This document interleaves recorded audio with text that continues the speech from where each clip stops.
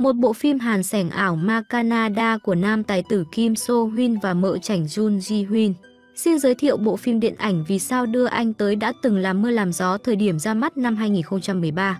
Mở đầu bộ phim là cảnh một vật thể lạ trông như chậu rửa mặt bay xuống trái đất thời kỳ Joseon mang theo tiếng sấm và sự chấn động. Một đoàn người đang đưa một chiếc kiệu về biệt phủ trong đó là một góa phụ chỉ mới 15 tuổi. Ai cũng xót thương cho số phận của cô gái. Đột nhiên vật thể lạ đó xuất hiện trên bầu trời cuốn bay tất cả mọi thứ bao gồm cả đoàn người và chiếc kiệu. Mọi thử trở lên trao đảo và gió to thổi bay chiếc kiệu tới mép bờ vực. Quá phụ trẻ bên trong vô cùng tuyệt vọng liên tục cầu cứu nhưng đám giai nhân đều bất lực. Khi mọi thứ tưởng chừng như sắp đi đến hồi kết thì đột nhiên thời gian như ngưng động lại khiến mọi thứ đứng yên. Một nam thần áo đen lạnh lùng bước tới một kéo chiếc kiệu đang tranh vinh ở mép vực về nơi an toàn. Sau đó anh hít một hơi thật sâu và biến mọi thứ trở lại bình thường. Anh chàng này đến từ một vì sao nằm ngoài trái đất. Và cứ thế anh đã sống hơn 400 năm từ thời Joseon và tới thời hiện đại Đại Hàn Dân Quốc. Anh đã thích ứng với môi trường của trái đất từ việc sinh hoạt đến việc ăn uống cũng giống với người trái đất luôn. Mọi giác quan của anh đều nhạy bén hơn người thường gấp 7 lần nên có thể nghe và nhìn thấy rất nhiều thứ. Và tên ở trái đất của anh là Minjun. Anh sống một cuộc sống bình thường như bao người khác và sắp tới ngôi sao chổi mà anh chờ đợi hơn 400 năm qua sẽ tới gần trái đất và như vậy anh có thể quay trở về hành tinh nơi mà anh đã từng sinh sống. Chuyển cảnh bên này, một cô diễn viên xinh đẹp yêu kiều tên Chion Song Y cùng với hai phụ tá của mình đang ngồi ở trường quay và check-in với cốc cà phê để đăng lên mạng xã hội. Tuy nhiên cô đâu ngờ bài đăng đó là một sai lầm khi cô đã viết sai thông tin về người phát hiện ra hạt cà phê và điều. Đó đã tạo ra một xì căng đan cho giới giải trí và người hâm mộ được fan bật cười vì sự thiếu hiểu biết này của cô. Người đại diện cho Song Y là Chủ tịch An thì vô cùng tức giận vì điều này và phải nhanh chóng nghĩ ra phương sách giải quyết cho cô. Phía bên này ta được biết Min Jun hiện đang làm thầy giáo cho một trường đại học nổi tiếng. Song Y vì xì căng đan vừa rồi nên đã giận dỗi và chuyển về sống tại căn hộ của mình trong trạng thái vô cùng tức giận. Thật tình cờ cô gặp được Min Jun cùng ở tòa nhà này và cả hai đi chung thang máy. Khi không thấy anh bấm chọn tầng cô cứ nghĩ anh là một fan hâm mộ đeo bám nên tỏ thái độ vô cùng kiêu căng. Nhưng cô đâu ngờ Min Jun lại sống ở căn hộ ngay gần căn hộ của Song Y ở tầng 23. Biết bản thân đã sai, Song Y muốn làm thân với anh hàng xóm này nhưng bị anh ngó lơ bỏ vào trong khiến cô nàng vô cùng hậm hực trong lòng. Tuy là một người nổi tiếng nhưng chuyện gia đình của Song Y không mấy bình yên. Cô có một người mẹ ăn chơi vô độ chuyên dùng tiền của cô vào những việc vô ích. Có một cậu em trai suốt ngày đi chơi điện tử nhưng lại rất biết bảo vệ chị gái khi bị đám bạn học chọc ngoáy về hình ảnh của chị. Đêm hôm đó khi đang ngủ thì Min Jun bị tiếng hát như vịt đực của cô nàng Song Y làm phiền. Vì có các giác quan nhạy bén gấp 7 lần người trái đất nên Min Jun vô cùng khó chịu với điều này. Anh gọi cửa nhà Song Y để yêu cầu cô giữ trật tự vì tiếng hát trời đánh của cô vô cùng kinh khủng và là một hành vi phạm tội quấy nhiễu hàng xóm. Cô nàng không biết phải trái đúng sai còn lên giọng mắng lại Min Jun. Sau đó rơi hai hàng nước mắt nên khiến Min Jun trột dạ. Đêm đó anh lại bị tiếng khóc của Song Y làm mất ngủ. Vì không thể ngủ được nên anh tới thư viện để tiếp tục viết nhật ký. Sáng hôm sau vì đã quá lâu không đến trường đi học nên Song Y bị một nhà đài đăng tin bóc phốt. Phía đại diện giải thích rằng do lịch trình làm việc của Song Y quá dày nhưng lại bị phóng viên đưa ra bằng chứng cô chụp ảnh uống cà phê lần trước được chính cô đăng trên mạng xã hội. Điều này như một phá bóp ré của Song Y tới toàn thể công ty nên Chủ tịch An đã đưa ra giải pháp là Song Y phải tới trường học để che miệng mấy tên nhà báo kia. Không còn cách nào khác Song Y phải nghe theo sự sắp xếp đó. Khi vừa ra đến ngoài, Song Y gặp lại anh, bạn trai và anh đã tiện đường đưa cô tới trường. Anh này tên Hi Kyung mới từ nước ngoài về để tiếp quản công ty của bố. Lúc ở trên xe Kyung có nhắc đến chuyện kết hôn của hai người nhưng Song Y chỉ trả lời qua loa và muốn rời lại thời gian đính hôn. Sau đó khi Song Y vừa bước xuống ô tô thì đã bị đám phóng viên và người hâm mộ bao vây xung quanh. Điều này đủ để thấy sự nổi tiếng và tầm ảnh hưởng của Song Y. Trong tiết học hôm nay bất ngờ thay lại là phiên đứng lớp của Min Jun. Điều này khiến Song Y rất ngạc nhiên và cũng đôi chút ngại ngùng vì những gì xảy ra đêm hôm qua. Trong lúc giảng bài, Song Y thì liên tục ngủ gật, còn Min Jun thì hăng say giảng bài. Sau khi hết tiết học xong, y lên thắc mắc với Min Jun rằng bài tập về nhà anh cho quá nhiều nên mong anh linh động cho cô nhưng lại bị Min Jun một mực từ chối sau đó rời đi luôn. Tối hôm đó, Min Jun đến gặp một người bạn của anh ở trái đất là luật sư Giang. Hai người đã quen biết nhau được 30 năm và lần này Min Jun muốn nhờ luật sư Giang làm giúp anh giấy báo tử vì 3 tháng nữa anh sẽ trở về hành tinh quê hương nơi Min Jun từng sinh sống. Anh cũng tâm sự với luật sư Giang về câu chuyện của anh với một cô gái mà anh đã cứu 400 năm trước. Cô gái cảm ơn và tặng anh một bức tranh, hỏi anh có phải là âm tào sứ giả hay không. Tiếp đó, tại thời điểm hiện tại của 20 năm trước khi Min Jun đang làm việc tại bệnh viện, giác quan thần giao cách cảm một lần nữa cho anh cảm nhận được cô gái định mệnh của đời mình sắp gặp nguy hiểm. Phía bên này trong bữa ăn tối sang trọng khi Hi Kyung đưa ra hộp nhẫn đính hôn với Song Iko đã lạnh lùng từ chối. Lý do là bởi trong quá khứ của đêm Giáng sinh năm đó, cũng là lần Kyung tỏ tình với Song Y nhưng bị cô từ chối và bỏ chạy. Khi băng qua đường Song Y gần như đã bị một chiếc xe tải tông trúng. Ở phía đối diện Min Jun đã nhìn thấy và sử dụng hết sức mạnh của mình cô động thời gian và bay ra cứu cô. Cũng từ đó mà Song Y coi người cứu mình hôm đó chính là định mệnh của cuộc đời và hỏi anh một câu tương tự rằng anh có phải âm tào sử giả không. Min Jun trên đường trở về suy nghĩ rất nhiều về kỷ niệm năm đó vì cô gái anh cứu có khuôn mặt rất giống.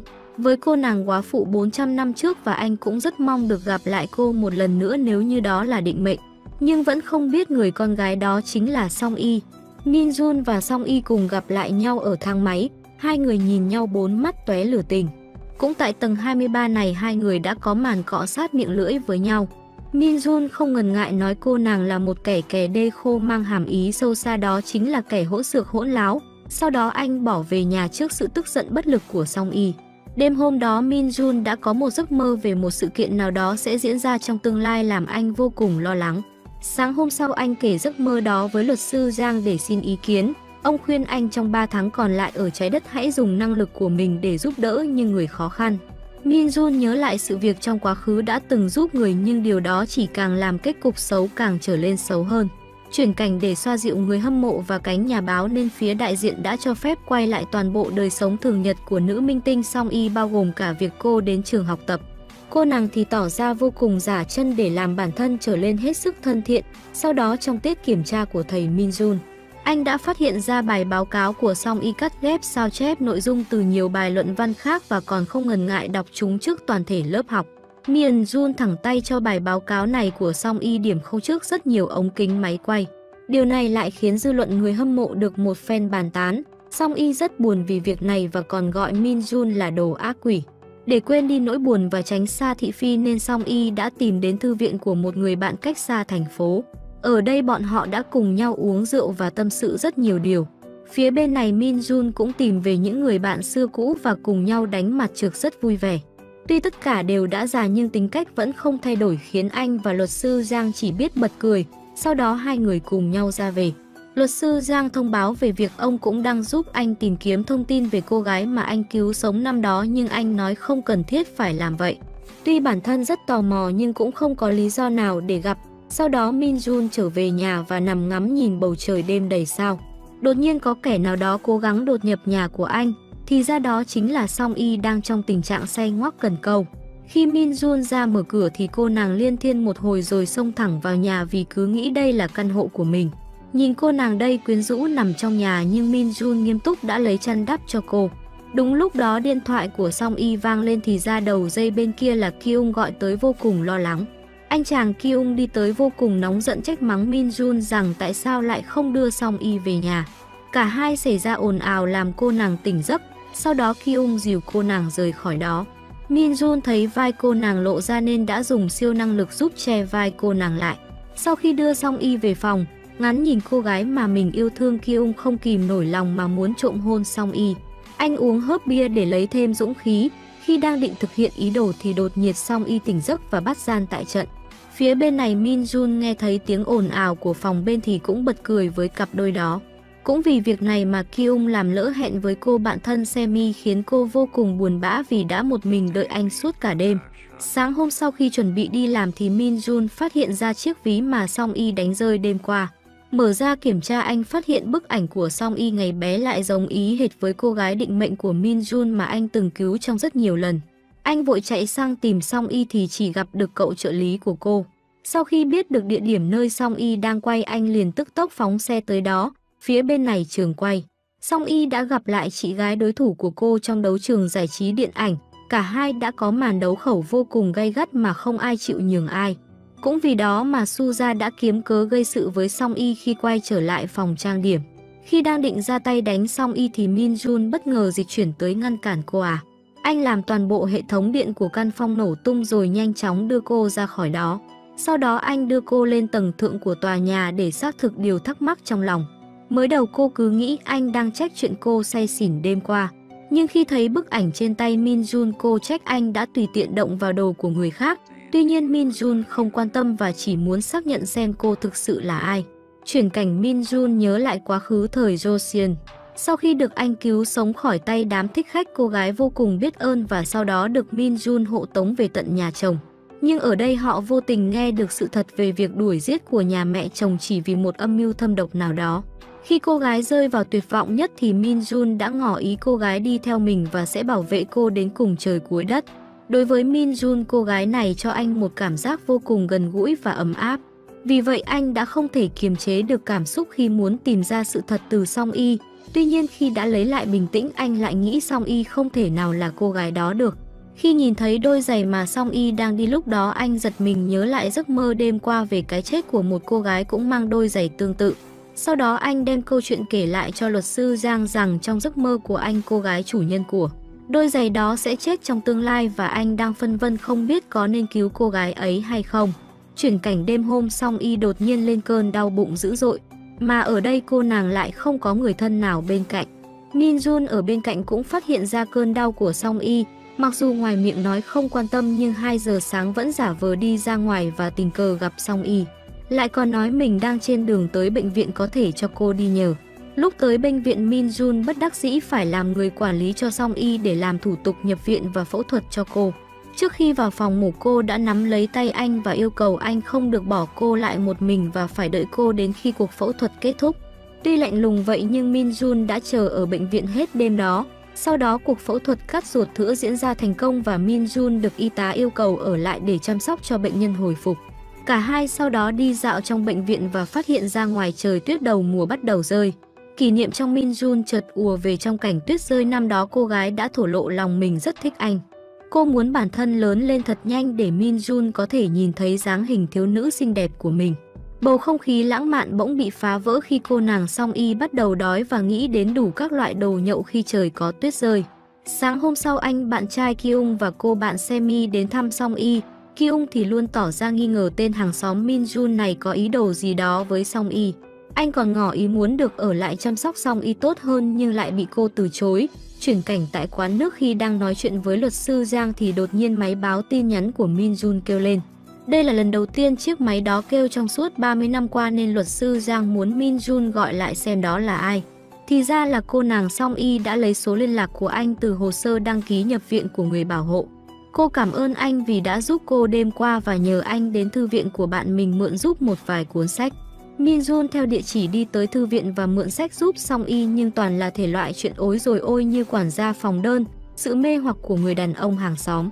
Đọc tiêu đề thôi cũng đã đủ đỏ mặt, một lúc sau mẹ và em trai cũng đến thăm bệnh song y kéo theo đó là một đám phóng viên bu xung quanh như một lũ ruồi đói khát tin tức.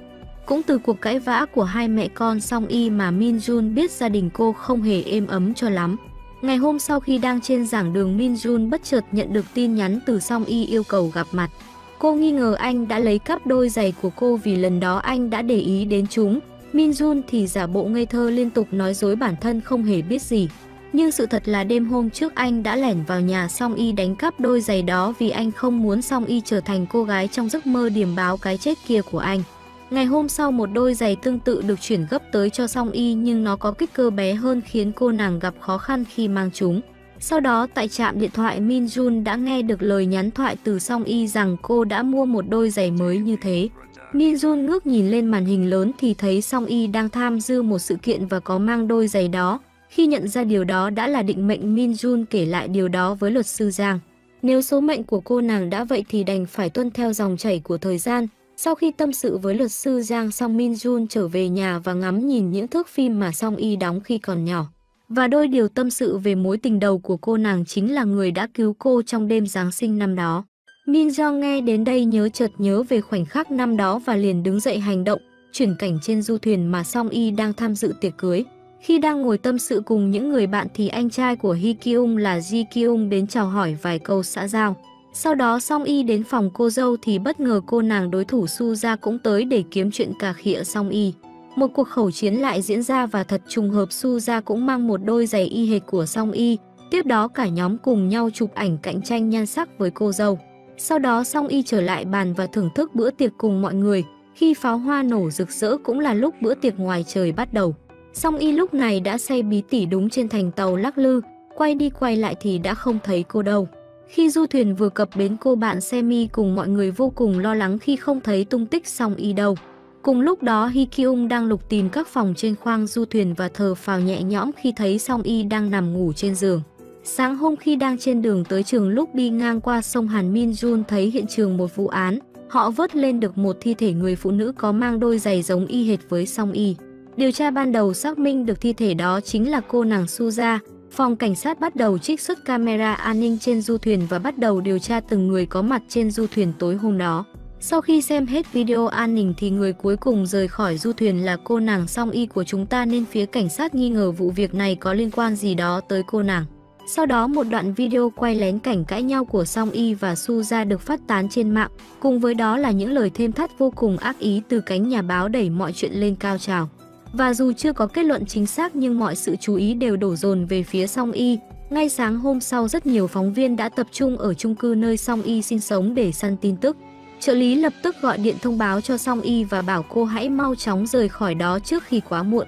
Song Y vội vàng tới thang máy để tẩu thoát nhưng phát hiện đám phóng viên lại đang đi lên. Thang bộ cũng đã bị đám phóng viên chặn lại nên Song Y vô cùng hoảng hốt, định quay lại nhà trốn thì do hoảng sợ quá nên quên luôn cả mật khẩu vào nhà. Đúng lúc đó Min Jun ra mở cửa nên bất đắc dĩ cô đành phải trốn tạm vào nhà anh. Phóng viên sau đó đã kéo đầy trước cửa nhà Song Y nhưng cô hiện tại đã trốn an toàn trong nhà của Min Jun. Phía bên này, mẹ của Song Y đang thảo luận với giám đốc An về bản gia hạn hợp đồng quảng cáo của con gái, nhưng với tình hình hiện tại, giám đốc An đã khéo léo say goodbye và lặn mất tam mất tích. Tối hôm đó, Min Jun trở về và mua cho cô nàng một ít đồ ăn. Min Jun lạnh lùng lên giường đi ngủ, bỏ lại cô nàng ngồi ăn mình một mình. Song Y khi đang đi loanh quanh tìm nhà vệ sinh thì vô tình đi với thư viện bí mật của Min Jun. Trong đây có chứa rất nhiều sách cổ và bảo vật từ thời Joseon. Song Y loay hoay lựa thì chọn đúng cuốn nhật ký của Min Jun. Khi đang đọc thì bất ngờ anh xuất hiện làm Song Y hú hồn chim én. Vì đã tự ý đi lung tung nên Min Jun đã đưa ra yêu cầu nếu muốn lánh nạn ở nhà anh thì buộc cô nàng không được động vào bất cứ thứ gì. Không được hỏi bất cứ câu nào cũng như phải tránh xa anh 2 mét. Rất bức xúc nhưng Song Y cũng chỉ biết thầm chửi Min Jun. Chuyển cảnh tại phòng làm việc của Jae Kyung ta được biết chính hắn là kẻ chủ mưu đã sát hại Soja. Hiện trường vẫn còn sót lại một đoạn ghi hình và bản ghi âm trong chiếc USB nằm trong túi sách của Soja. Nhưng hiện tại vẫn chưa tìm thấy chiếc túi sách đó nên Ji Kyung sai trợ lý mau chóng xử lý việc đó. Đang bàn bạc thì Hi Kyung đến cắt ngang câu chuyện. Bên này Song Y kể lại cho Min Jun nghe câu chuyện đêm hôm đó. Vào thời khắc xảy ra vụ án trên du thuyền, Song Y vô tình nghe được cuộc nói chuyện giữa Soja và Ji Kyung. Soja đe dọa sẽ tiết lộ một chuyện giật gân gì đó khiến Jae Kyung vô cùng lo lắng. Bên phía cảnh sát sau một hồi xem lại camera an ninh thì bất ngờ phát hiện ra gương mặt của Min Jun cũng xuất hiện trên du thuyền tối hôm đó. Họ cũng rất ngạc nhiên lúc du thuyền va chạm thì Min Jun và Song Y cùng đồng thời dịch chuyển biến mất mà không rõ nguyên nhân. Chuyển cảnh về sự thật hôm đó sau Min Jun đã dùng năng lực dịch chuyển lên du thuyền. Anh xuất hiện ở bong tàu đúng lúc du thuyền bị chấn động. Min Jun kích hoạt năng lực ngưng động thời gian và thành công cứu được Song Y khỏi cú ngã đó. Min Jun đưa Song Y vào một căn phòng và cũng tại đây cô nàng trong cơn say đã trao cho Min Jun một nụ hôn say đắm. Cứ nghĩ đây là mơ nên cô nàng đã liên thiên một hồi rồi ngủ thiếp đi trong vòng tay của Min Jun. Min Jun lúc ra ngoài thì vô tình nghe được bí mật của Jae Kyung và tay trợ lý. Khi bị phát hiện thì thật may anh đã dịch chuyển kịp thời về nhà nhưng lại bị trượt chân ngã cầu thang một cái đau điếng. Trở lại thực tại khi hai người đang nói chuyện thì nghe thấy trên bản tin chiếu về vật thể bay không xác định. Song Y liền thắc mắc nếu thật sự có người ngoài hành tinh thì sao họ không giúp đỡ người trái đất. Min Jun nghe thấy vậy liền phản bác về sự ý lại của người trái đất và sao họ phải dùng năng lực để giúp những việc vô ích. Khi bị Song Y hỏi anh là người ngoài hành tinh à thì Min Jun trột dạ im re luôn. Sau đó hai người cùng ra ban công ngắm nhìn tấm biển quảng cáo có in ảnh của Song Y. Thì ra cô thuê căn hộ này là để ngày ngày được ngắm nhìn mình trên đó. Tấm áp phích đó cũng là để chứng minh sự nỗ lực của Song Y trong suốt 12 năm qua.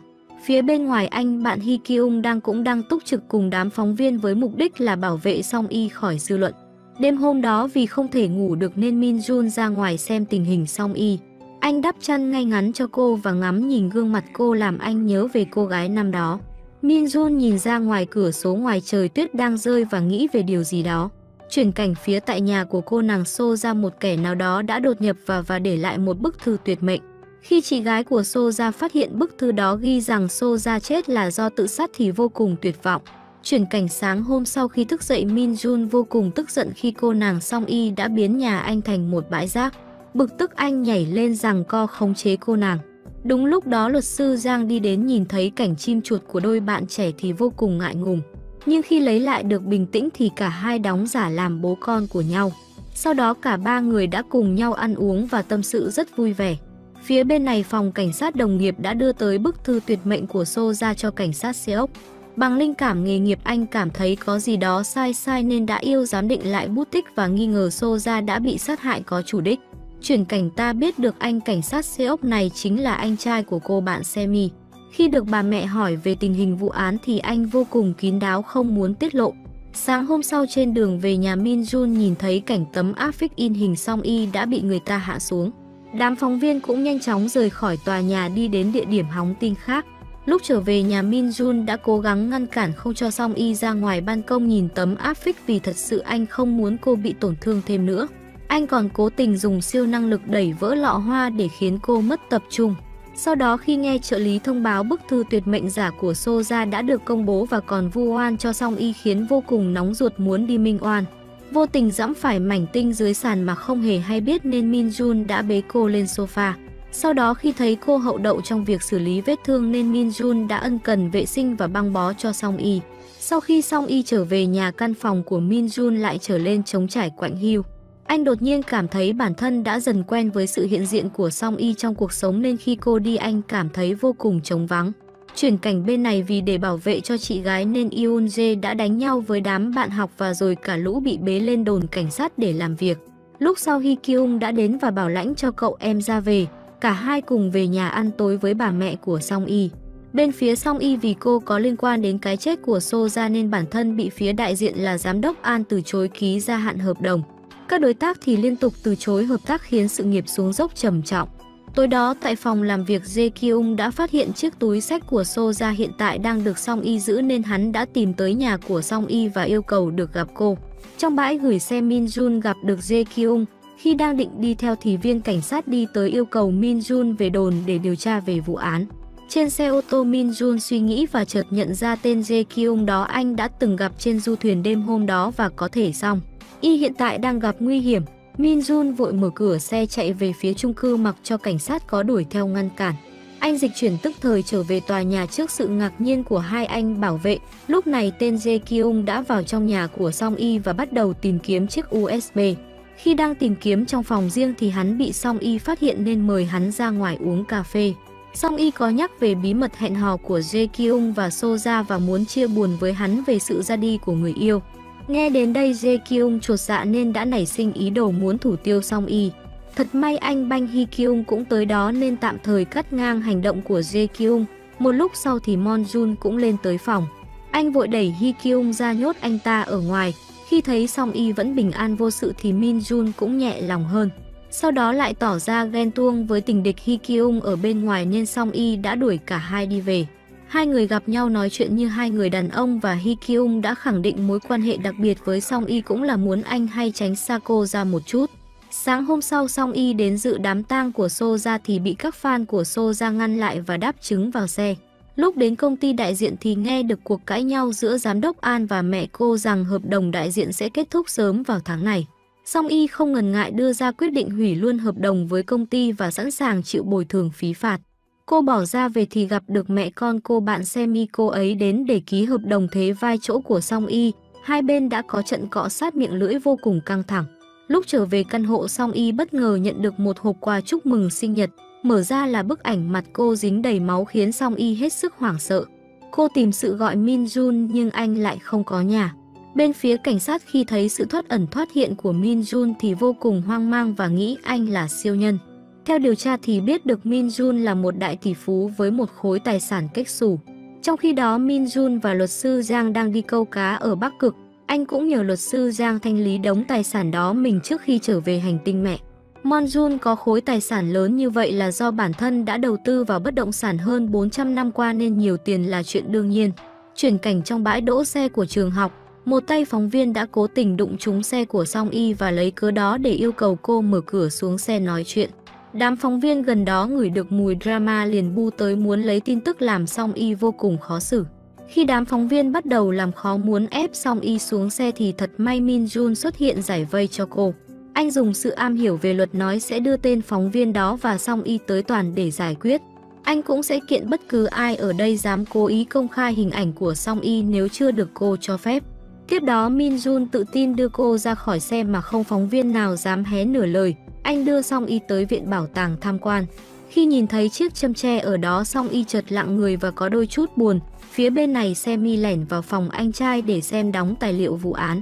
Khi nhìn bức ảnh chụp Min Jun, cô giật mình nhận ra anh cũng chính là người đã cứu Song Y đêm Giáng sinh năm đó. Semi cũng có mặt tại hiện trường vụ tai nạn và vô tình chụp được bức ảnh khi Min Jun cứu Song Y. Tối đó, Min Jun bất đắc dĩ làm quản lý của Song Y và đưa cô tới bữa tiệc của Hee Kyung.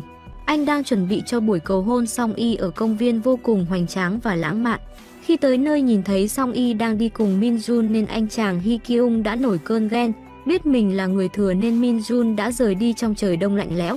Còn Hee Kyung dắt tay Song Y lên vòng đu quay, Min Jun nhớ lại lúc ở viện bảo tàng anh khẳng định Song Y chính là cô gái định mệnh của anh ở 400 năm trước. Trong lúc chạy trốn bản thân Min Jun đã mất đi hết sức mạnh nên cô gái đó đã lấy thân mình đỡ những mũi tên cho anh.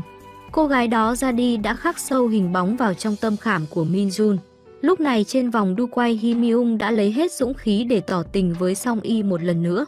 Min Jun ở bên dưới thì trái tim đang vô cùng lạnh lẽo, sợ hãi không muốn nghe câu trả lời từ Song Y nên anh đã dùng năng lực đóng băng thời gian và rời khỏi khu công viên đó. Sau khi Min Jun phóng xe mát ga rời xa công viên thì mọi thứ trở lại bình thường. Song Y trên đu quay một lần nữa lại từ chối lời tỏ tình của Hee Kyung.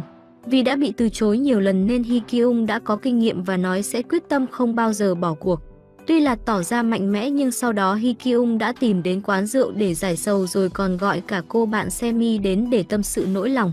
Anh muốn tìm sự an ủi từ Semi, nhìn Hee Kyung đau khổ vì tình yêu Semi cũng đau không kém vì thật sự cô rất yêu anh mà lại không dám nói ra. Chuyển cảnh tại căn hộ của Song Y mẹ và em trai tới thăm cô, một lúc sau có người gửi một hộp bưu phẩm tới cho Song Y. Bà mẹ hí hửng mở ra thì hoảng hốt khi phát hiện bên trong là một con chuột chết và lời hăm dọa từ một ai đó. Vì sự việc này nên mẹ của Song Y yêu cầu cô báo cảnh sát và thuê một người làm quản lý để bảo vệ an toàn cho cô mỗi khi ra ngoài. Song Y nói đã tuyển được một người quản lý kiêm bảo vệ mới. Lúc tiễn mẹ ra về bà có hỏi về chuyện tình cảm của Hee Kyung và con gái thì được cô cho biết là đã từ chối lời cầu hôn đó. Min Jun ở trong thang máy nghe được điều đó thì cảm thấy mừng thầm trong lòng. Sau đó Min Jun ra khỏi thang máy và gặp gỡ mẹ con Song Y. Nhân cơ hội Song Y đã giới thiệu Min Jun chính là quản lý kiêm bảo vệ mới của mình. Sau đó cả hai đã ngồi tâm sự với nhau. Song Y nói bản thân không hiểu lý do tại sao lại từ chối lời cầu hôn của Hee Kyung khi anh nói sẽ lo cho toàn bộ cuộc sống của gia đình cô. Khi đang có ý định đồng ý lại lời cầu hôn đó thì lập tức bị Min Jun gạt bỏ ngay cái suy nghĩ đó.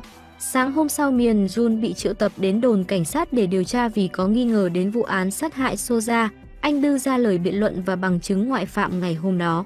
Sau khi cảnh sát kiểm tra camera an ninh của chung cư thì đúng là hôm đó Min Jun ở đã nhà và có bằng chứng ngoại phạm. Cùng lúc đó, phía giám định thông báo bút tích trên bức thư tuyệt mệnh của Soja là thật khiến cuộc điều tra đi vào bế tắc. Min Jun đi trên đường thì nhận được thông báo từ máy nhắn tin. Anh liền ra bốt điện thoại gọi lại cho Song Y thì được cô yêu cầu anh hãy mua ngay một chiếc điện thoại mới vì giờ anh là quản lý của cô rồi. Sau đó Min Jun tới một cửa hàng gần đó sắm cho mình một chiếc điện thoại. Khi mua xong anh liền gọi điện báo cho Song Y số liên lạc của mình và được cô yêu cầu về nhà để họp gấp. Trọng tâm cuộc họp không có gì khác ngoài việc thiết kế món ăn khiến Min Jun cũng đến cạn lời với cô nàng này. Sau đó trong lúc ăn cả hai cùng xem bộ phim mới do cô bạn Semi đóng vai chính. Min Jun khen Semi xinh đẹp diễn hay khiến Song Y vô cùng ghen tuông và bắt đầu tuôn một chàng chê bai cách diễn của cô bạn. Tuy nhiên nhờ cách diễn đó mà Semi được giới điện ảnh đánh giá rất cao và dần có thành công nhất định trong lòng người hâm mộ. Sau đó anh trợ lý cũ của Song Y mang tới cho cô chiếc ví mà cô để quên trên xe. Thật ra đây chính là ví của Soja mà Song Y đã cầm trước đó. Cô vô tình phát ra chiếc USB rơi ra từ chiếc ví đó. Khi xem dữ liệu trong chiếc USB đó Song Y thấy một đoạn video Soja đang nói chuyện với cô gái nào đó. Đột nhiên cô nghe thấy tiếng chuông liền chạy ra mở cửa thì đó là Min Jun trở về đem theo một phần đồ ăn cho cô. Trong khi hai người đang ăn mì thì Min Jun chợt phát hiện ra con gấu mà người hâm mộ tặng Song Y có điều bất thường. Kiểm tra thì mới biết trong mắt con gấu là một camera giấu kín khiến Song Y vô cùng bất ngờ. Sáng hôm sau Min Jun đưa Song Y tới điểm hẹn gặp Semi. Cả hai đã nói chuyện về sự giả dối trong tình bạn này của hai người suốt bao năm qua. Khi Song Y từ trong quán đi ra, Min Jun thấy một tên bịt mặt ở trên cao định ném gì đó nguy hiểm vào đầu Song Y. Anh đã dùng siêu năng lực dịch chuyển đến cứu Song Y khỏi vụ tai nạn. Tên đó cũng bị anh dùng năng lực làm té ngã bất động. Semi khi nhìn thấy Min Jun bế Song Y thì giật mình nhận ra anh chính là người đã cứu Song Y đêm Giáng sinh năm ấy. Trong bệnh viện Song Y đã hỏi tại sao anh lại có thể cứu cô nhanh đến như vậy thì anh chỉ trả lời chắc cô đã nhìn nhầm. Sau đó Min Jun nhận được cuộc gọi thông báo đã bắt được hung thủ. Ở đồn cảnh sát tên đó đã khai mình chính là người đã cố ý gây ra tai nạn nhưng lại không thừa nhận việc gắn máy nghe lén vào con gâu bông. Trong lúc đó, tên trợ lý của Jae Kyung đã đóng giả làm bác sĩ đến phòng song y, tiêm thuốc gây mê làm cô bất tỉnh và đưa cô đi mà không ai biết. Min Jun cảm nhận được có nguy hiểm nên từ đồn cảnh sát dịch chuyển về bệnh viện nhưng không thấy song y đâu. Tên trợ lý cùng đồng bọn cắt phanh và cài số thả trôi chiếc xe ô tô xuống dốc. Sau khi Song y tỉnh dậy, cô thấy mình bị khóa trên xe và đang trên đường lao xuống vực. Cô hoảng hốt gọi tên Min Jun cầu cứu. Khi xe lao gần tới vực thẳm Min Jun đột nhiên xuất hiện như một vị thần chặn đứng đầu xe ô tô. Song y Jun dẩy bước ra ngoài kiểm tra nhưng lại không phát hiện ra ai ở đó. Đúng lúc đó điện thoại vang lên là Hi Kyung gọi ở đầu dây bên kia nên anh đã tức tốc tới vách núi đó để đón Song Y. Gặp lại nhau ở bệnh viện, Song y cố gắng tra khảo xem có phải Min Jun đã xuất hiện ở vách núi khi nãy không, nhưng anh chỉ lạnh lùng phủ nhận và rời đi ngay sau đó. Bên này trên trợ lý về báo cáo nhiệm vụ đã thất bại với Jae Kyung. Hắn nói đã trông thấy một người đàn ông hành động như siêu nhân đã cứu mạng Song Y và đánh ngất bọn họ khiến Jae Kyung nảy sinh nghi ngờ. Sau khi xuất viện xong, Y trở về nhà và bất ngờ phát hiện căn phòng đã bị lục tung lên nên hoảng hốt chạy sang gọi Minjun. Anh qua xem xét tình hình, thấy tình hình có vẻ không an toàn nên đã cho Song Y tá túc lại nhà anh một thời gian.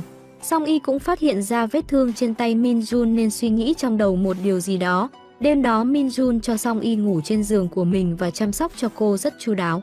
Anh chợt nhận ra bản thân đã xa vào lưới tình của Song Y từ lúc nào không hay. Sáng hôm sau Min Jun ra chợ hải sản mua đồ về nấu ăn. Song Y ở nhà dọn dẹp thì vô tình phát hiện đôi giày trước đó cô mất lại ở trong tủ đồ của Min Jun. Đúng lúc đó Min Jun về nên cô nàng đã đắc ý chất vấn anh về đôi giày của cô. Bí quá nên Min Jun đành lấy cớ đồ ăn để đánh chống lảng. Kết quả làm cô nàng nghĩ anh là đồ biến thái thích trộm đồ của phụ nữ làm anh nhức cả đầu. Sau khi ăn xong, Song Y muốn tự tay dọn dẹp giúp Min Jun nhưng lại bất cẩn làm vỡ mấy món đồ cổ trong nhà anh. Anh đành phải ngăn những hành động bất cẩn đó lại nhưng có vẻ hơi tình cảm quá đà. Ở đồn cảnh sát sau khi lấy lời khai của tên gây án kia, họ biết được hắn là một fan cùng của nữ diễn viên Soja nên có hành động trả thù. Trước đó, hắn còn nhìn thấy Soja cùng với một người đàn ông nào đó đã đến nơi thể nghiệm cái chết để viết di chúc nên đã có hướng điều tra mới cho vụ án. Chuyển cảnh Hi Kyung đến tìm cô bạn thân Semi để tâm sự, khi biết cô có một mối tình đơn phương với một anh chàng Hi Kyung đã khuyên cô nên mạnh dạn bày tỏ tình cảm với người đó. Khi anh vừa rời đi Semi đột nhiên gọi cho anh, cứ ngỡ là cô gọi nhầm nhưng khi nhìn ánh mắt long lanh đó Hi Kyung đã nhận ra người Semi thầm thích bấy lâu nay lại chính là mình. Bên này vì nghĩ bản thân có vấn đề nên Song Y đã đi gặp bác sĩ tâm lý để điều trị. Bác sĩ cho rằng cô đang gặp quá nhiều áp lực nên nảy sinh mâu thuẫn tâm lý và hoang tưởng về hình bóng một người nào đó. Tối đó Min Jun lại đến quán cà phê tâm sự với luật sư Giang. Ông đã giải quyết xong giúp anh về vấn đề tài sản. Ông cũng biết dường như anh chưa thể giải quyết xong vấn đề về tình cảm. Sau đó Min Jun trở về nhà thì thấy Song Y chuẩn bị một bữa tiệc nhỏ để mời anh. Cô muốn chơi một trò chơi để quyến rũ anh chỉ sau 15 giây, nhưng chưa kịp hết 15 giây anh đã lao tới hôn Song Y làm cô đắm chìm trong hạnh phúc. Sau nụ hôn đó cả hai đều trằn trọc không thể ngủ nổi và nhịp tim thì cứ tăng mạnh theo cấp số nhân. Đêm đó Song Y ra ngoài uống nước thì phát hiện Min Jun đang lên cơn sốt và nhịp tim thì tăng mạnh không kiểm soát. Khi cô áp sát xem tình hình thì liền bị anh Phũ Phàng đuổi ra. Phía bên này Jae Kyung và tên trợ lý sau khi điều tra đã phát hiện người cứu Song Y lần trước có thể là Min Jun và cũng nghi ngờ chiếc USB chứa bằng chứng phạm tội đang nằm trong tay anh. Trở lại nhà Min Jun vì thấy anh sốt quá cao nên Song Y muốn chăm sóc cho lau người cho anh nhưng lại bị anh từ chối. Khi bị hỏi rằng lúc nãy có phải nụ hôn đầu không thì Min Jun giật mình vì bị đoán trúng tim đen. Chuyển cảnh tại nhà của nữ nạn nhân Soja, hai viên cảnh sát đã tới điều tra và phát hiện được Soja đã từng lui tới bệnh viện rất nhiều lần trước khi chết. Nghi ngờ cô có thai nên cả hai đã tới bệnh viện để xác nhận và sau khi tới bệnh viện xác thực thì điều họ nghi ngờ là chính xác. Hướng điều tra giờ đổ dồn sang người đàn ông bí ẩn có quan hệ mật thiết với Soja.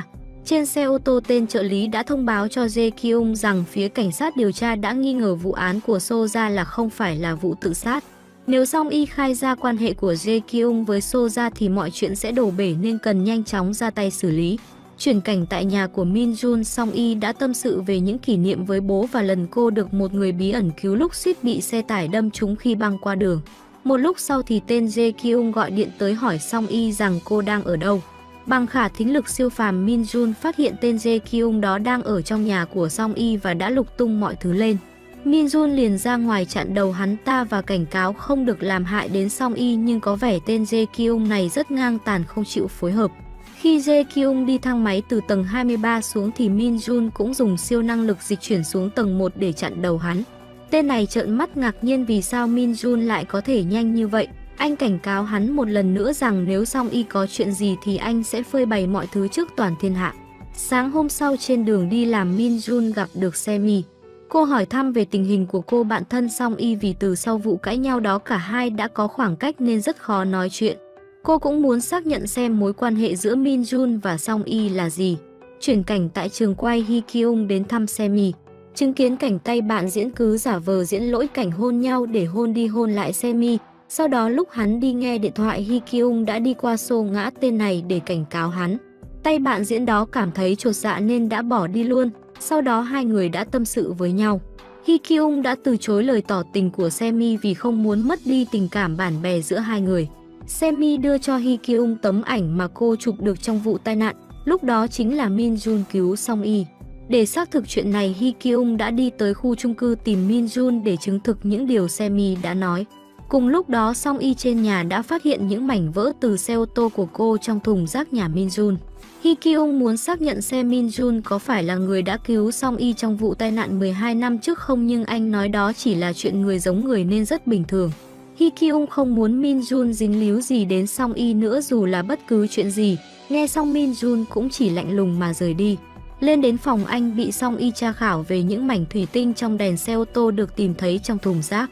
Có phải anh đã từng xuất hiện ở vách núi và chặn xe cứu cô? Cô muốn một lời giải thích từ anh nhưng Min Jun chỉ coi đó là chứng hoang tưởng mà Song Y đang mắc phải. Kiểm tra vết thương tên tay thì nó đã lành từ lâu nên Song Y rất lấy làm khó hiểu trước thái độ thơ ơ của Min Jun. Ra đến ngoài, Song Y gặp được Hee Kyung nên đã nhờ anh một việc. Vì để tăng sự an toàn cho Song Y nên Hee Kyung đã cho lắp rất nhiều camera an ninh xung quanh ngôi nhà cho cô. Tối đó, hai viên cảnh sát đã đến thông báo cho chị gái của Sô ra rằng cô không hề tự sát mà đã bị giết hại. Bởi vì Soja đã có thai và uống thuốc dưỡng thai thường xuyên nên không thể nào là tự sát. Khi hỏi về người đàn ông đang hẹn hò với Soja thì cũng không thu thập được manh mối gì. Phía bên này, Min Jun đã xem dữ liệu trong Yus và phát hiện Soja và tên Jae Kyung đó có mối quan hệ mờ ám. Soja trước đó đã lén đặt camera quay lại những cuộc nói chuyện của hai người để làm bằng chứng. Tối hôm đó, mẹ của Song Y mang tới đơn kiện bồi thường hợp đồng đến từ phía công ty đại diện của giám đốc An. Vì không còn tự tin cũng không có kiến thực về luật nên Song Y đã nhờ Min Jun đi theo cô ngày mai để giải quyết vụ bồi thường hợp đồng. Tại công ty giải trí cả hai đã nói chuyện với giám đốc An và luật sư của ông ta. Min Jun với mớ kiến thức về luật pháp đã tìm ra những điểm sơ hở trong tờ hợp đồng để phản bác lại phía công ty giải trí của ông An, nhờ đó đã giúp Song Y thắng được vụ bồi thường này. Tối đó khi đang làm việc, cảnh sát Seok nhận được cuộc gọi từ Min Jun yêu cầu được gặp mặt để giao ra bằng chứng của vụ án Soja. Toàn bộ cuộc gọi đã bị tên trợ lý của Jae Kyung nghe thấy hết. Sau đó Min Jun ra ban công nơi Song Y đang chờ anh. Cô đã lấy hết can đảm để thổ lộ tình cảm với Min Jun và rất hồi hộp mong chờ câu trả lời đến từ anh. Min Jun rất bất ngờ trước lời tỏ tình đó nhưng cũng không biết nói gì thế là hai người cứ đứng đó nhìn nhau. Song Y trở về xong vô cùng xấu hổ vì và trằn chọc cả đêm vì những điều bản thân vừa làm. Chuyển cảnh tại hầm gửi xe khi cảnh sát xe ốc vừa bước xuống thì bất ngờ bị một tên phục kích đánh vào đầu bất tỉnh, sau đó dựng hiện trường giả. Min Jun lúc đó vẫn ở trong quán nước chờ cảnh sát xe ốc mà không hay biết, anh dùng thính lực thì phát hiện xe ốc đã gặp sự cố. Khi tới hầm để xe thì thấy xe ốc đã được cứu thương đưa đi, anh cũng phát hiện tên Jae Kyung ở trên xe gần đó và nở một nụ cười vô cùng nham hiểm. Sau đó Min Jun tức tốc đuổi theo tên Jae Kyung đó đến một khu đất trống để nói chuyện. Ở đây Jae Kyung đã rút súng có chứa thuốc gây mê liều mạnh bắn Min Jun. Jae Kyung nổ súng bắn về phía Min Jun, nhưng anh nhanh chóng dịch chuyển và xuất hiện ở phía sau hắn. Anh liên tục dịch chuyển khiến hắn vô cùng hoang mang. Min Jun cảnh cáo hắn không được động đến song y, nhưng lại càng làm tên này thêm phấn khích. Cuối cùng anh dịch chuyển và đánh ngất Jae Kyung. Cùng lúc đó trong nhà Min Jun, song y phát hiện ra có kẻ đột nhập muốn ra tay sát hại cô. Với tài năng diễn xuất đỉnh cao, cô đã đánh lừa được hắn và chạy ra ngoài. Song y chạy về nhà kêu em trai mau gọi bảo vệ tới. Tên trợ lý kia đóng giả bảo vệ tới gõ cửa muốn tiếp cận nhưng song y nghe thấy tiếng nói của tên này rất quen nên đã bảo em trai không được mở cửa. Song y lập tức gọi điện báo chuyện có kẻ đột nhập cho Min Jun biết nên anh lập tức dịch chuyển về căn hộ xem xét tình hình. Min Jun gục ngã ngay sau đó do dính lượng thuốc gây mê khá lớn trong vụ ẩu đã lúc nãy. Hai chị em song y liền khiêng anh vào trong để chăm sóc cho anh.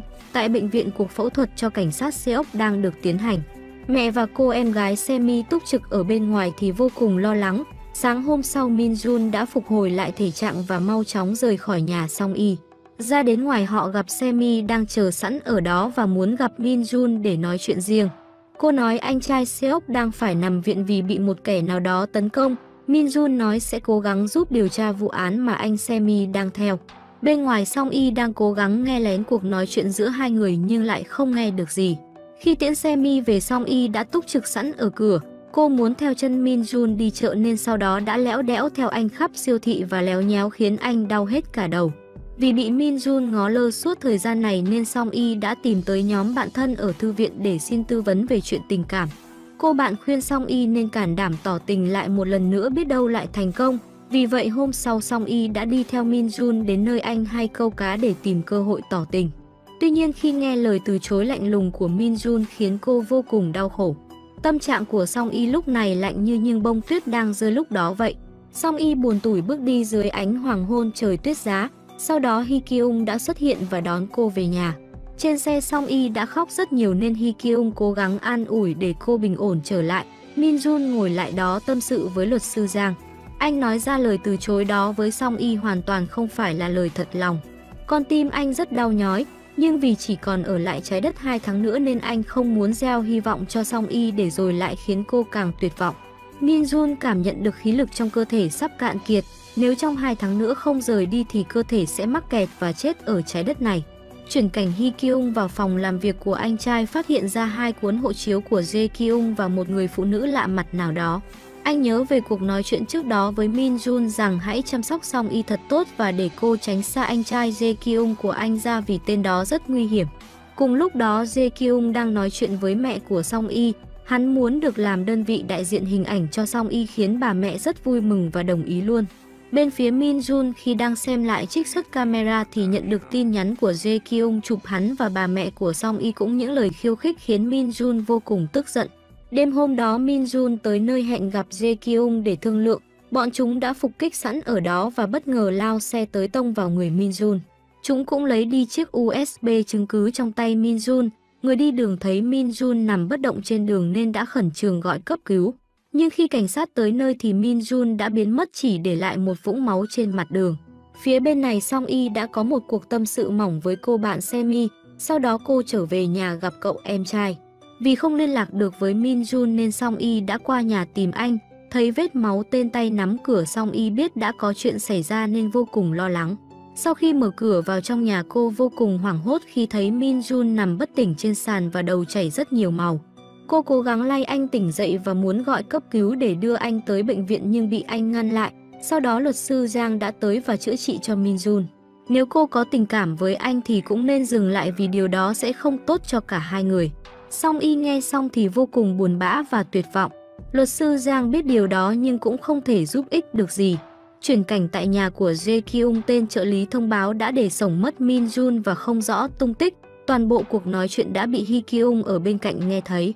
Khi Jae Kyung phát hiện ra điều bất thường tính đi tới kiểm tra thì bố mẹ của hắn xuất hiện làm hắn bị sao nhãng và Hee Kyung thoát được một mạng.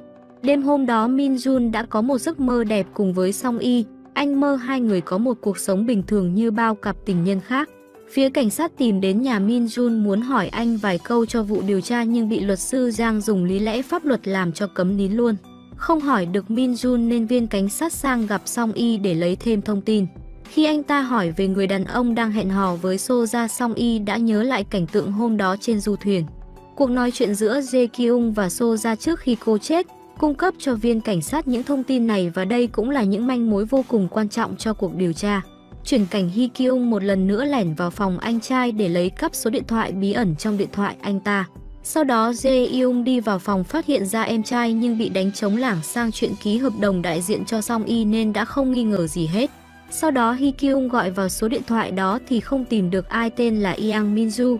Phía bên này Minjun đã tỉnh lại và hồi phục nhanh chóng. Song Y có tới tìm và muốn vào gặp Minjun nhưng anh chỉ đứng từ trong ngắm nhìn cô qua màn hình chờ mà không dám đối diện trực tiếp. Tại bệnh viện cảnh sát Seok đã tỉnh lại và biết được Jae Kyung chính là người tình của cố diễn viên So ra nên đang bị xét vào diện tình nghi của vụ án. Khi có được thông tin quan trọng, Seok nhanh chóng đăng ký thủ tục xuất viện để tiếp tục phá án. Không để lãng phí thời gian hai viên cảnh sát liền trực tiếp tới gặp Jae Kyung để tra hỏi về quan hệ giữa hắn và Soja. Khi được hỏi về chuyện này, ký ức Jae Kyung chợt tua về đêm hôm đó trên du thuyền. Sau khi nói chuyện xong hắn đã lừa Soja ra uống ly rượu có chứa thuốc mê liều mạnh gây tê liệt và mất khả năng nhận thức. Soja ra hoảng hốt khi biết mình sắp bị hại nên vội chạy ra ngoài mũi thuyền. Sau đó cô bị tên trợ lý của Ji Kyung dồn ngã xuống sông. Tuy nhiên khi trả lời hai viên cảnh sát Jae Kyung chỉ nói bọn họ là quan hệ bạn bè bình thường không có chuyện mâu thuẫn gì. Vì không có đủ bằng chứng buộc tôi nên cảnh sát cũng đành bó tay. Tiếp đó là cuộc gặp gỡ giữa Min Jun và Jae Kyung. Tiếp đó là cuộc gặp gỡ giữa Min Jun và Jae Kyung. Min Jun nói sẽ đồng ý giữ toàn bộ bí mật và biến mất chỉ cần Jae Kyung dừng lại tất cả mọi chuyện. Phía bên này chung cư khi đang loay hoay tìm cách trèo sang nhà Min Jun qua đường ban công thì Song Y nhận được cuộc gọi từ anh hẹn cô gặp mặt. Cô nàng hí hửng ngay lập tức về phòng trang điểm ăn diện cho buổi hẹn của hai người. Khi gặp dưới sảnh Min Jun, không thèm mở cửa xe cho cô nàng mà trực tiếp lên xe luôn, nhưng cô cũng không cần để ý. Sau đó anh đưa Song Y đến viện bảo tàng và tại đây anh đã nói cho Song Y toàn bộ sự thật về con người của mình. Min Jun nói người cứu cô trong vụ tai nạn 12 năm trước chính là anh. Song Y rất giống với cô gái anh yêu 400 năm trước cũng chính là chủ nhân của chiếc châm ngọc này. Anh cũng nói bản thân đến từ một hành tinh khác mà không phải người trái đất khiến Song Y hết sức khó hiểu.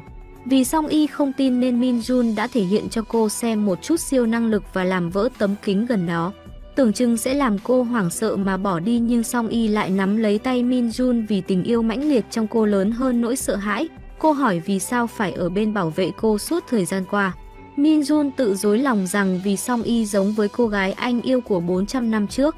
Anh cũng buông tay Song Y ra vì mong lần này cô có thể quên anh để có một cuộc sống mới ít khổ đau hơn.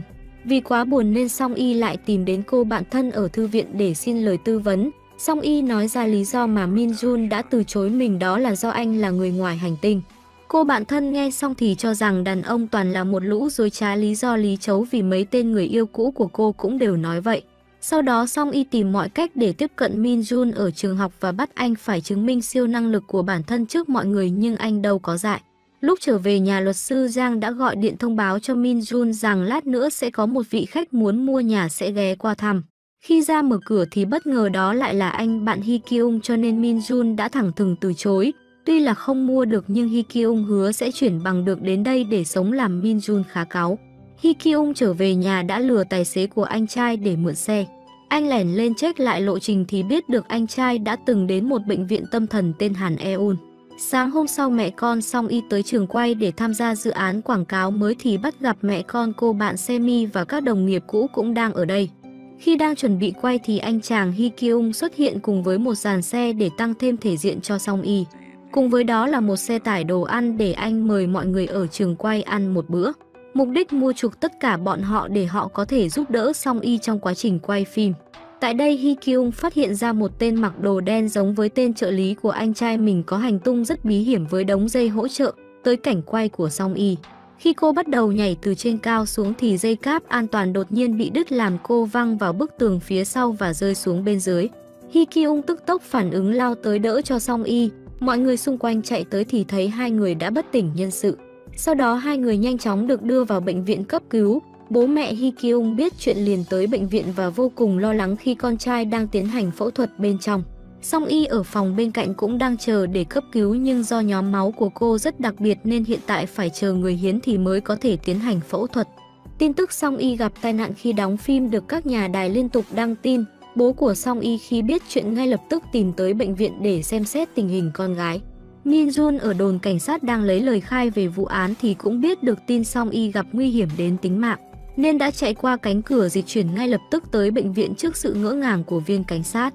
Khi xem lại trích xuất camera, cảnh sát cũng phát hiện điều bất thương mà không thể giải thích nổi. Ở bệnh viện sau khi các bác sĩ xét nghiệm thì thật may nhóm máu của bố Song Y đã phù hợp nên có thể tiến hành phẫu thuật ngay lập tức. Min Jun đứng từ phía xa quan sát trong lòng vô cùng đau xót và tức giận vì biết việc này chắc chắn là do Jae Kyung gây ra. Min Jun dịch chuyển ngay lập tức tới chỗ Jae Kyung. Khi hắn định bấm chuông báo động, anh đã dùng năng lực để lật tung căn phòng lên. Anh áp sát khống chế Ji Kyun vì muốn hắn phải trả giá bởi những gì đã gây ra cho Song Y. Min Jun thả tên này lơ lửng ở mép sân thượng muốn cho rơi tự do. Tên này vẫn cứng đầu uy hiếp Min Jun rằng sẽ cho đàn em làm hại Song Y ở bệnh viện. Khi hắn tính cười đắc chí thì bị Min Jun cho thả rơi tự do từ trên cao xuống nếm mùi sợ hãi nhưng lại đỡ hắn khi gần tiếp đất. Min Jun cảnh cáo nếu Song Y chết thì cái mạng của hắn cũng xong đời. Trở lại phía bệnh viện, bác sĩ thông báo cuộc phẫu thuật diễn ra rất thành công và Song Y chỉ cần nghỉ ngơi tĩnh dưỡng để hồi phục là được. Đêm hôm đó Min Jun đã dịch chuyển tới phòng bệnh thăm Song Y, anh nhẹ nhàng trao cho cô một nụ hôn lên trán. Sáng hôm sau khi tỉnh dậy Song Y thấy bố đang ở cạnh nắm tay cô. Hai bố con đã trải lòng với nhau, bố cảm thấy rất có lỗi khi đã bỏ mẹ con cô đi lúc nhỏ.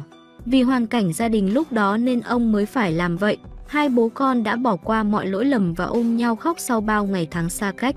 Chuyển cảnh Min Jun đã quay trở lại đồn cảnh sát để gặp hai viên cảnh sát. Anh muốn có một cuộc nói chuyện với cả hai và cuộc nói chuyện này không được phép ghi hình. Tiếp đó tại đây Min Jun đã nói sự thật rằng bản thân có năng lực xuyên không gian khiến anh đồng nghiệp kia bật cười. Nhưng Seok lại tin những lời Min Jun nói vì sau sự việc anh biến mất ở đồn cảnh sát thì điều đó là có thể. Min Jun đã nói toàn bộ sự thật rằng Jae Kyung là hung thủ gây ra cái chết cho Soja và giao chiếc USB bằng chứng cho viên cảnh sát. Có thể bằng chứng này không thể đưa hắn vào tù nhưng có thể chứng minh quan hệ giữa hắn và nạn nhân. Thời gian còn lại ở trái đất anh sẽ hết mình giúp đỡ cảnh sát phá án. Ở bệnh viện xong y sang phòng bệnh thăm Hi Kyung. Có vẻ mẹ anh ta không thích cô cho lắm. Lúc này Hi Kyung vẫn đang trong tình trạng hôn mê nên Song Y đã ngồi tâm sự với Jae Kyung. Min Jun về nhà thấy bài đăng trên mạng về mối quan hệ đính hôn giữa Song Y và Hi Kyung nên anh đã comment muốn đính chính lại thì bị cộng đồng mạng. Đà kích tẩy chay khiến anh rất bực mình. Sau đó Min Jun tính nhắn tin cho Song Y nói anh nhớ em nhưng lại phân vân không biết có nên gửi hay không. Vô tình trượt tay bấm gửi đi khiến anh vô cùng hoảng hốt. Song Y nhận được tin nhắn chưa kịp xem thì bị năng lực cô động thời gian của Min Jun làm đơ lại. Min Jun tính xóa tin nhắn đó trong điện thoại của Song Y nhưng lại không biết mật khẩu. Anh cho thời gian trở lại bình thường rồi dụ dỗ cô nàng đọc tin nhắn. Sau đó anh lại tiếp tục cho thời gian dừng lại và thành công xóa tin nhắn của mình đi che giấu được tội lỗi. Khi Min Jun ra ngoài thì nhìn thấy Ji Kyung ở phòng bệnh đối diện, anh dịch chuyển vào trong phòng đợi hắn. Lúc đó nhìn thấy Hi Kyung đã tỉnh lại nên Min Jun cho tắt hết đèn trong căn phòng đi. Anh hỏi Jae Kyung đã từng hại những ai. Tiếp đó hắn muốn mượn siêu năng lực của Min Jun để làm việc gì đó nhưng anh chàng bảo để xem xét. Toàn bộ cuộc nói chuyện đã được Hi Kyung nghe thấy. Trở về căn hộ những hình ảnh của Song Y và Hi Kyung sau khi đính ước về chung một nhà cứ quanh quẩn trong đầu Min Jun khiến anh như muốn tức cái lồng ngực. Vì vậy, sáng hôm sau, đoàn xe của công ty tên Jae Kyung đến đón Song Y đi quay đã bị Min Jun chặn lại và hủy bỏ hợp đồng. Cùng với đó là một khoản tiền đền bù lớn nên họ cũng chỉ biết nhận và rời đi. Sau đó, anh đưa Song Y lên xe và đi tới điểm hẹn. Anh yêu cầu được tiếp tục làm quản lý cho Song Y khiến cô sinh nghi. Sau đó Song Y gặp lại Semi ở trường quay. Vì chưa đến cảnh quay của mình nên Song Y đã vào phòng nghỉ. Vì cảnh của Song Y phải quay vào buổi sáng mà hiện tại trời đã tối nên đạo diễn đã cho cả đoàn nghỉ và nhờ trợ lý gọi điện báo cho Song Y, nhưng tên này quên luôn việc thông báo đó. Khi Song Y ngủ một mạch đến tối, khi tỉnh dậy ra bên ngoài gọi thì mọi người đã đi về hết, Min Jun thì vẫn ở lại chờ cô. Cô trách mắng và hỏi tại sao anh lại chờ cô thì Min Jun đã dùng siêu năng lực bật hết tất cả đèn của trường quay lên. Tiếp đó dùng năng lực nhấc bổng cô nàng bay về phía anh, anh bất ngờ trao cho Song Y một nụ hôn nồng cháy. Sau khi hôn xong nhịp tim của Min Jun tăng nhanh khiến anh gục xuống. Anh sắp rơi vào trạng thái bất tỉnh vì bản thân rất dị ứng với nước bọt của con người, Song Y phải vất vả lắm mới khiêng anh được lên xe. Rồi còn trách anh lần nào hôn xong cũng ngất xỉu, sau khi kéo được Min Jun về phòng.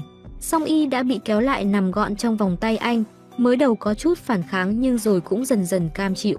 Khi biết nụ hôn đầu mà Min Jun là dành cho mình thì Song Y cảm thấy vô cùng hạnh phúc. Sau đó hai người ôm nhau ngủ yên bình qua một đêm. Sáng hôm sau khi đang lén lút về phòng thì Song Y bị thằng em mình phát hiện đi từ nhà anh hàng xóm ra. Cô cậu về nhà giáo huấn bà chị gái một bài học về tội ngủ lang. Phía bệnh viện bác sĩ thông báo sức khỏe của Hi Kyung đang tiến triển rất tốt và sẽ sớm xuất viện khiến bố mẹ anh rất vui. Sau đó Jae Kyung được triệu tập tới đồn cảnh sát để thẩm vấn về vụ án sát hại Soja. Khi viên cảnh sát nói Soja đã từng đến gặp vợ cũ của Jae Kyung thì tên này bắt đầu có biểu hiện lạ. Seok nói với đồng nghiệp trước hết phải tìm ra tung tích vợ cũ của hắn nhưng hiện tại người vợ đó đã mất tích không rõ nguyên nhân. Đang nói chuyện thì đồng nghiệp khác đi vào thông báo sếp lớn muốn gặp Seok. Ông sếp nói đó chỉ là một vụ tự sát và gây áp lực muốn Seok phải kết thúc vụ này càng sớm càng tốt. Bên này chung cư cậu em Yoon Jae sang bên nhà tìm Min Jun tính dạy dỗ anh dai một trận, nhưng dạy chưa thấy đâu đã bị đóng kính viễn vọng trong nhà cám dỗ. Hai anh em nói chuyện rất ăn ý suýt nữa thì kết nghĩa huynh đệ. Sau đó cu cậu về nhà và nói với bà chị rằng anh dai hàng xóm rất được và đồng ý mối quan hệ của hai người. Sáng hôm sau Min Jun đưa Song Y tới trường quay và gặp được cô bạn Semi cũng đang ở đây. Tiếp đó trong buổi quay phim phỏng vấn về tình bạn giữa hai cô nàng, hai cô bắt đầu đâm bị thóc trọ bị gạo lẫn nhau, không ai chịu nhường ai làm In Jun và anh dẫn chương trình rất mệt mỏi. Tới buổi quay của Song Y tên đạo diễn đã cố tình làm khó bắt cô quay đi quay lại cảnh lăn lộn dưới đất. Min Jun đứng ngoài chứng kiến cảnh này nên sau đó đã cho tên đạo diễn và trợ lý của hắn vật vã lăn lộn trên nền đất để nếm mùi khổ cực. Sau đó trong lúc đi dạo xong y đã hỏi vụ đạo diễn ngã là do Min Jun làm có phải không? Thấy anh không trả lời ngầm hiểu lã đã thừa nhận. Tiếp theo Min Jun ôm cô bước đi dưới rừng cây khô đầy lãng mạn. Đêm hôm đó vì sự cố nên cảnh quay của Song Y bị dừng lại. Cả nhóm đã tụ tập chơi bài với nhau rất vui vẻ. Trong đêm tuyết lạnh đó Min Jun và Song Y đã ngồi bên nhau tâm sự. Cô nói về những dự định của cả hai trong tương lai. Tuy nhiên Min Jun đã nghẹn ngào nói một tháng nữa anh sẽ buộc phải rời khỏi đây để trở về hành tinh nơi anh từng sinh sống. Khi trở lại nơi anh từng thuộc về có thể anh sẽ không bao giờ quay trở lại trái đất nữa. Anh đã khóc rất đau khổ cho việc này, cú sốc đó cũng làm trái tim song y nặng trĩu và rời đi ngay sau đó. Ngày hôm sau Min Jun cố gắng tiếp cận để nói chuyện với song y lúc chạy bộ nhưng bị cô nàng ngó lơ. Nhưng khi thấy anh đứng nói chuyện với một cô gái gần đó thì song y lại không thể chịu được và nổi cơn ghen tuông. Sau đó cả hai cùng nhau nói chuyện và xảy ra cãi vã nên đã đường ai nấy đi. Song y lại tìm đến cô bạn ở thư viện đã ăn lẩu tâm sự. Phía bên này căn hộ Min Jun cùng luật sư Giang cũng đang giải bày tâm sự, cả hai cùng uống rượu suốt cả đêm. Min Jun khi say không thể khống chế được năng lực của cơ thể là tắt hết điện của ngôi nhà. Lan ra những nhà xung quanh rồi ngắt điện cả toàn thành phố, trong căn hộ của Song Y khi vào tới phòng ngủ cô bất ngờ thấy anh đang nằm ngủ trên giường của mình. Trong cơn say anh không ngừng nói thích Song Y khiến cô tủm tỉm cười trong sung sướng. Sáng hôm sau khi tỉnh dậy Min Jun ngỡ ngàng khi thấy bản thân đang nằm ngủ trên giường của Song Y. Cô chất vấn Min Jun và bất ngờ trao cho anh một nụ hôn. Đúng lúc đó em trai của Song Y định đi vào thì bị cô chạy ra chặn cửa. Min Jun tính dùng siêu năng lực dịch chuyển về nhà nhưng lại không được bất đắc dĩ anh phải về nhà theo đường ban công trông vô cùng hài hước. Chuyển cảnh bên phía cảnh sát theo địa chỉ mà Hee Kyung cung cấp đã tìm tới bệnh viện tâm thần để tìm tung tích vợ cũ của Jae Kyung. Tuy nhiên tìm khắp các phòng bệnh lại chẳng có ai giống như thế khiến hai viên cảnh sát vô cùng khó hiểu. Thông tin cảnh sát đến bệnh viện được báo về cho Jae Kyung khiến hắn nghi ngờ có nội gián đã cung cấp địa chỉ nơi đó. Sau đó Hee Kyung đến rủ anh trai mình tới một cuộc họp kín do chính anh sắp xếp, khi mở cửa ra Jae Kyung bất ngờ khi nhìn thấy vợ cũ của mình đang ngồi đó cũng hai viên cảnh sát. chuyện như thế nào phải quay trở lại buổi sáng hôm trước. Hi Kyung đã tìm gặp Min Jun lúc anh đang chạy bộ. Hi Kyung đã biết được siêu năng lực của Min Jun nên nhờ anh giúp đỡ trong một phi vụ giải cứu. Tại viện thần kinh biết được phía Jae Kyung sẽ hành động trước và đưa cô vợ cũ rời đi, Min Jun và Hi Kyung đã chờ ở đó và bám theo chiếc xe để tìm địa điểm họ giấu người. Sau đó Min Jun đã dùng siêu năng lực đóng băng thời gian để cứu cô vợ cũ ra ngoài mà đám bảo vệ không hề hay biết. Trở lại thực tại khi mọi chuyện dường như đã ổn định Min Jun muốn dành thời gian ở bên song y nhiều hơn, cô cứ dám giết lấy anh mọi lúc mọi nơi. Một lúc sau khi không thấy Min Jun đâu cô vô cùng lo lắng nên chạy ra ngoài tìm kiếm khắp nơi, cứ nghĩ anh đã rời khỏi trái đất thì đột nhiên Min Jun xuất hiện sau lưng làm song y bớt lo hơn. Vì tình cảm này mà Min Jun đã quyết định sẽ ở lại và không bao giờ rời bỏ Song Y nữa mặc cho sinh lực của anh sắp cạn kiệt. Điều đó khiến Song Y vô cùng hạnh phúc, chuyển cảnh tại cuộc đối chất với vợ cũ và các viên cảnh sát. Tên Jae Kyung nãy đã đưa ra những lý luận sắc bén để phủ nhận toàn bộ tội lỗi của bản thân. Vì không đủ bằng chứng nên cảnh sát buộc phải để yên cho hắn rời đi. Tuy nhiên Hi Kyung đuổi theo nói bản thân nhất định sẽ tìm ra sự thật về những tội ác mà anh trai đã gây ra. Chuyển cảnh sau khi đôi bạn trẻ đi nghỉ dưỡng về thì gặp mẹ của Song Y đã chờ sẵn ở đó. Bà lại ca một bài ca cho đội bạn trẻ nghe. Luật sư Giang cũng có mặt và lao vào bào chữa cho Min Jun. Hai ông bà bắt đầu trận battle giáp với nhau. Sau đó em trai của Yoon Jae đã đến gặp Min Jun để tâm sự về cuộc sống khó khăn của chị gái mình lúc nhỏ và cậu cũng rất muốn Min Jun sẽ trở thành anh rể của mình. Tiếp đó Yoon Jae dẫn Min Jun đi gặp bố. Khi thấy ông bố vợ bị cặp vợ chồng tài phiệt làm khó dễ, Min Jun đã tỏ lòng cảm thương và dùng siêu năng lực của mình khiến cặp vợ chồng kia phải hoảng sợ. Đây cũng xem như lời cảnh cáo từ Min Jun. Tiếp đó ba bố con đã cùng nhau uống rượu. Ông bố đã ngỏ lời gửi gắm con gái cho Min Jun và hai bố con cùng nhau cạn chén rượu đầy. Lúc ra về trong tình trạng say xỉn Min Jun đã kéo cậu em vào bốt điện thoại và dùng năng lực dịch chuyển đưa cả hai về nhà trong chớp mắt. Điều đó làm cu cậu vô cùng kinh ngạc, nhưng sau khi Min Jun tỉnh rượu thì cu cậu lại Yoon Jae nói muốn trở thành một fanboy của anh và sẽ giữ bí mật cho anh về chuyện này. Chuyển cảnh Hee Kyung đã tới nhà cảnh sát Seok và gặp lại cô bạn Semi. Chị dâu của anh cũng đang được giữ an toàn ở đây. Chị dâu nói đã giấu bằng chứng phạm tội của Jae Kyung trong một hộp bưu phẩm. Theo lời chỉ dẫn, Hee Kyung đã tới và lấy được hộp bưu phẩm đó. Bên trong là cây bút có chứa đoạn ghi âm bằng chứng phạm tội của Jae Kyung đã sát hại anh cả của gia đình là Han Kyung. Nhớ lại tối hôm đó, Jae Kyung đã nhờ anh mang cốc nước có chứa chất độc tê liệt tới cho anh cả mà Hee Kyung không hề hay biết. Sau đó Jae Kyung vào phòng thú nhận tất cả âm mưu với anh cả vì muốn độc chiến toàn bộ công ty. Nhưng cũng bởi chính Hee Kyung đã gián tiếp gây ra cái chết cho anh cả nên Hee Kyung vô cùng ân hận và đau khổ. Chuyển cảnh xong y ở trong thư viện nhà Min Jun đã lấy cuốn nhật ký của anh để đọc. Khi biết được chuyện nếu Min Jun cố tình ở lại trái đất thì anh sẽ chết dần chết mòn và tan biến mãi mãi. Đọc đến đây cô đã bật khóc vì biết Min Jun không tiếc sinh mệnh mà ở lại trái đất cùng với cô. Sau khi biết được điều này Song Y đã hẹn gặp luật sư Giang để hỏi ông sự thật. Ông xác nhận chuyện đó chính là sự thật. Ông cũng nói Min Jun đã đem lòng thích cô từ rất lâu nhưng không muốn làm tổn thương trái tim cô nên Min Jun đã chọn tự làm tổn thương bản thân mình để bảo vệ cô. Chuyển cảnh Min Jun đã đến tìm Hee Kyung để nhờ anh thực hiện kế hoạch răng bẫy Jae Kyung. Hee Kyung lúc này đang rất đau buồn vì sự thật cái chết của anh cả, nhưng vì Jae Kyung cũng là anh trai mình. Không muốn anh dấn sâu vào con đường tội lỗi nữa nên anh đã đồng ý kế hoạch. Hee Kyung gọi điện cho anh trai, cho hắn ta nghe về đoạn ghi âm và hẹn gặp ở một địa điểm để vạch trần sự thật. Sau khi Jae Kyung tới phòng gặp em trai, Hee Kyung đã đặt máy ghi âm trong phòng và nói bản thân đã biết mọi tội ác mà Jae Kyung đã gây ra. Jae Kyung đã rút súng muốn kết liễu luôn em trai mình thì đã bị Min Jun đóng băng thời gian ngăn cản hành động đó. Sau đó anh dịch chuyển Jae Kyung xuống dưới sảnh nơi lực lượng cảnh sát đã chờ sẵn, bắt giữ hắn vì tội mưu sát và giết hại nhiều người. Tên trợ lý của Jae Kyung cũng bị cảnh sát tóm gọn, các phóng viên săn tin trực sẵn bên ngoài ùa vào phỏng vấn Jae Kyung về vụ việc này. Jae Kyung lúc này vẫn tự tin nói khi hắn bị bắt thì đàn em của hắn cũng đã biết sự việc này và đang lên kế hoạch hạ độc song y. Không còn cách nào khác Min Jun buộc phải bộc lộ siêu năng lực trước các phóng viên và dịch chuyển đến chỗ song y. Còn tên Jae Kyung thì bị em trai cho ăn một cú đấm nhưng may cảnh sát đã kịp thời ngăn cản cơn phẫn nộ đó lại. Min Jun dịch chuyển tới nơi thì Song Y đã uống hết cốc rượu có chứa thuốc độc. Cô bắt đầu ngất xỉu làm anh vô cùng hoảng hốt nên dịch chuyển đi luôn, anh đưa cô tới bệnh viện.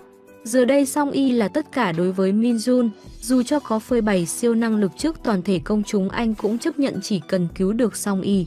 May mắn Song Y đã tỉnh lại và cảm thấy ồn ào nên muốn Min Jun đưa mình tới chỗ không người.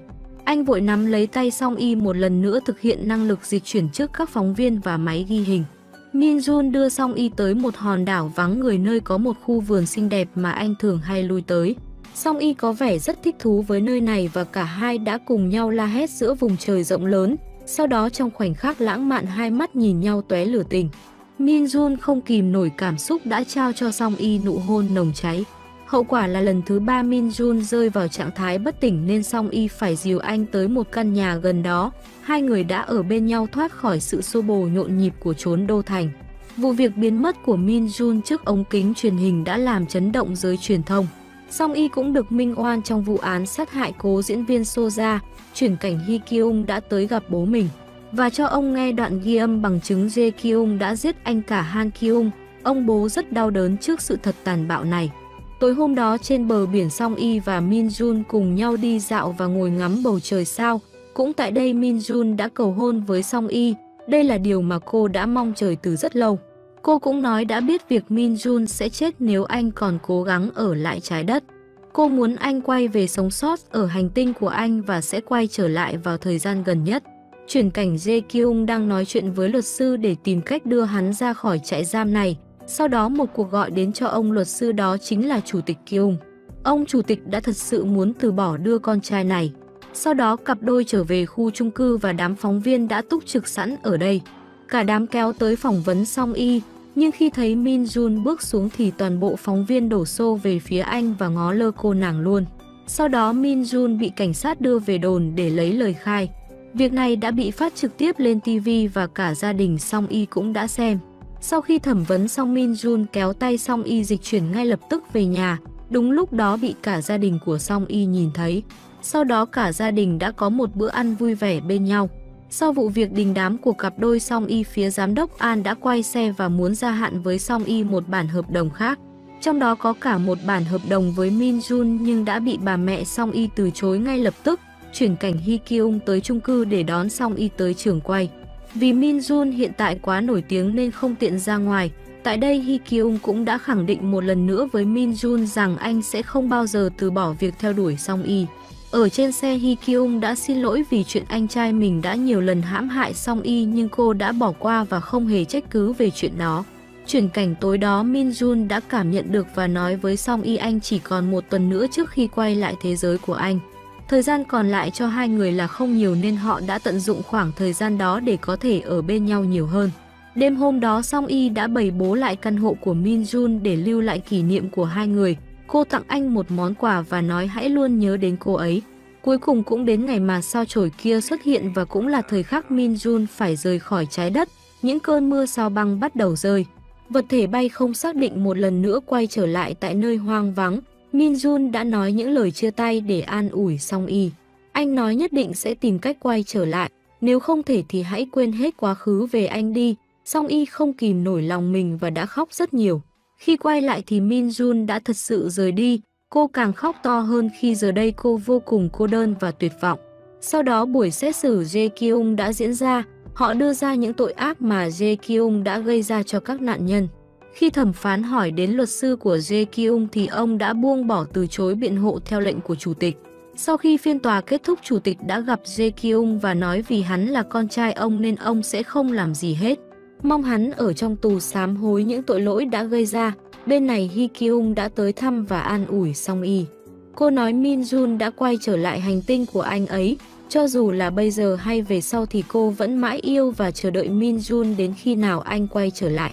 Hee Kyung đã kể cho cô nghe về cuộc nói chuyện trước đó của anh với Min Jun rằng hãy bảo vệ cô trước khi anh quay trở lại. Sau đó cô gặp cậu em trai Yoon Jae thì cũng được cậu kể lại rằng Min Jun đã gửi gắm cậu chăm sóc thật tốt bà chị của mình trước khi anh quay trở lại. Tiếp đó cô bạn Semi cũng tới an ủi Song Y để cô mau chóng quay trở lại cuộc sống bình thường. Những ngày sau đó Song Y đến những nơi kỷ niệm của hai người để với đi nỗi nhớ Min Jun. Sau đó bằng một cách nào đó, Min Jun đã quay trở lại trái đất để gặp Song Y nhưng thời gian anh quay trở lại không dài. Anh cũng dùng phương pháp này để gặp lại ông bạn già Giang Yang Mốc của mình và thời gian anh quay trở lại đã dài hơn. 3 năm sau, sự nghiệp diễn viên của Song Y ngày càng phát triển.